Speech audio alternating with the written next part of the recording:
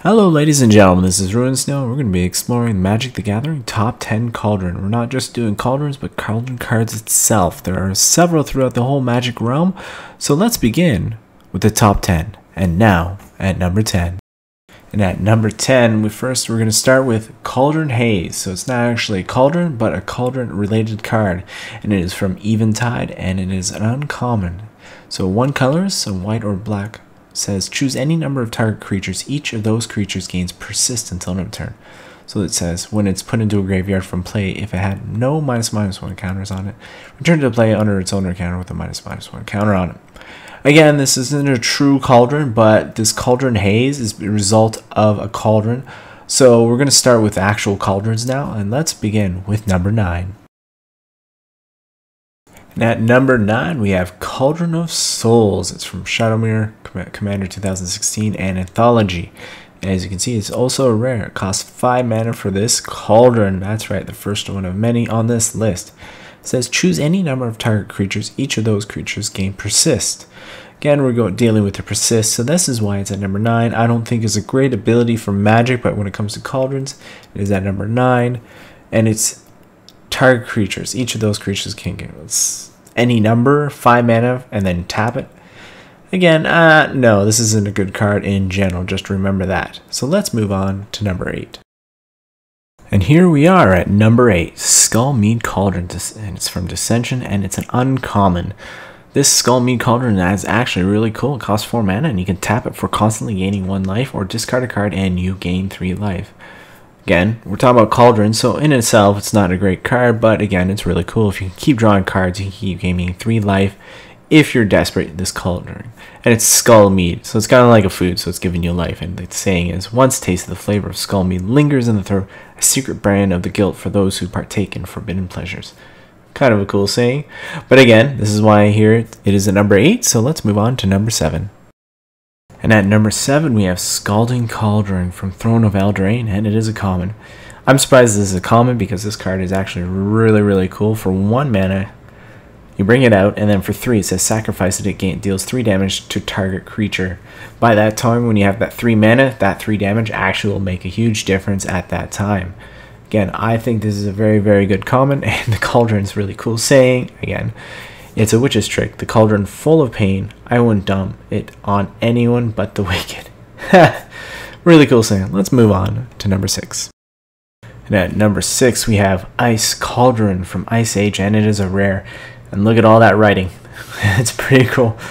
Uh, so I'll just read it for you. It says, put a charge counter on Ice Cauldron and put a spell card face up on Ice Cauldron. Note that the type and amount of mana used to pay this activation cost. Use this ability only if there is no charge counters on Ice Cauldron. You must play that spell card as though if it were in your hand. Remove a charge counter, charge counter from Ice Cauldron to add that mana and type last used to put a charge counter on Ice Cauldron to your mana pool. This mana pool is usable only to cast the spell on top of Ice Cauldron. Wow. Basically, you can play a spell based on the amount of charge counters on it. Really cool because it gives you that extra card in your hand and something you can use in the future and really need. This picture is also really cool. I don't know what he's trying to do with the rat, but anyway, it's a picture by Dan Frazier. He's a really cool artist from Magic the Gathering. So all around, this is really cool. This is why it's at number six. Uh, it's not very used very much in the magical world. It's not the best, but again, we're talking about cauldrons. So let's move on to number five, which is halfway down our list. And as I just said, halfway down on the list at number 5 is Bubbling Cauldron from Magic 2014, Iconic Masters, Jumpstart, or and it is an uncommon. Cost 2 mana, says 1, sacrifice a creature, you gain 4 life. Again, there's so many abilities and everything in the Magic world, this could be alone in itself really cool. And it also says sacrifice a creature named Festering Newt. Each opponent loses 4 life, and you gain life equal to the life lost this way. Again, great combo. I like this. Very good combo, very good card. This is why it's a number 5, and it's Bubbling Cauldron. Really cool picture. Again, this is why we're at the, again, going to repeat myself, Cauldron top 10. Really good. Like I said, uncommon. Uh, generally, I would recommend this card buying it from Jumpstart. I like that picture a lot. So let's move on to number 4. At number four, I just like the picture in itself, which is Cauldron from Core 2021, and it's an uncommon. So for those new players to Magic, you will know this card. Basically, it costs one mana to bring it out, but it also says one color, so one black. Sacrifice a creature, you gain one life, and draw a card. That's a fair deal. If you're going to lose a creature anyway in a battle, you can use this Cauldron and just might as well draw an extra card. So again, this is why it's at number 4 because this ability is really strong, really cool. If you have to sacrifice anyway, you might as well gain a life and draw a card, right? And it says the best recipes start with reliable cookware. I'm not sure about the picture. It doesn't look very reliable to me. But again, this is really it's really cool. But let's move on to number three. Now, at number three, we have Cauldron Dance. It's actually not a cauldron, but the Cauldron Dance. It's from Invasion, as you can see, and it's an uncommon. We're going old school on you, and I really like this card. Even though it costs six mana, this Cauldron Dance has a really good ability. If you look at it, it says play Cauldron Dance only during combat. Return target creature card from your graveyard to play. That creature gains haste. Return it to your hand at the end of your turn. Put a creature card from your hand into the play. That creature gains haste. Put it into your graveyard at the end of turn. So you're doing a little switcheroo for 6 mana. That could really be helpful if you're playing, I don't know, any kind of deck to put creatures in your graveyard or not in your graveyard. Either way, this is why it's at number 3. I really like this card. This is good. I'm surprised they haven't reprinted it. it costs 6 mana for that uncommon. I think that is completely a fair trade. I like the picture.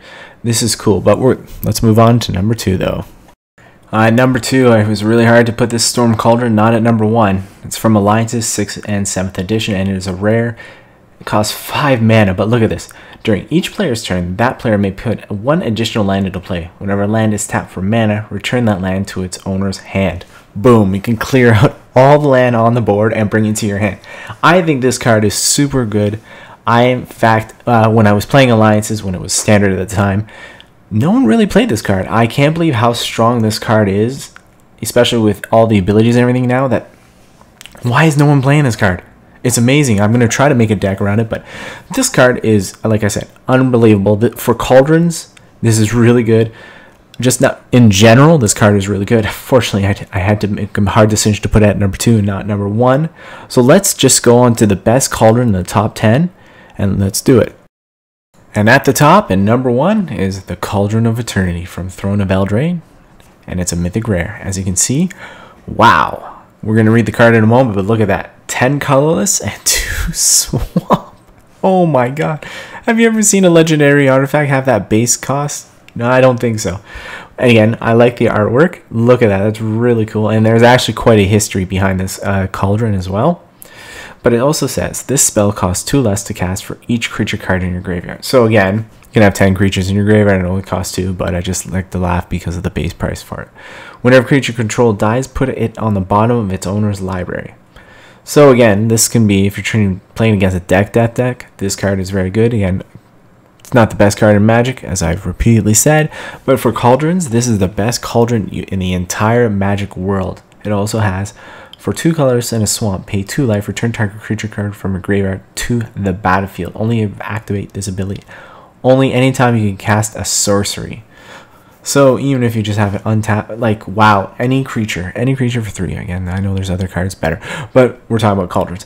Again, this is really cool card. It's recent, so it's Throne of Eldraine. So I'm surprised I didn't even see, see this card. I guess very much in the current standard format on Arena or any kind of like that.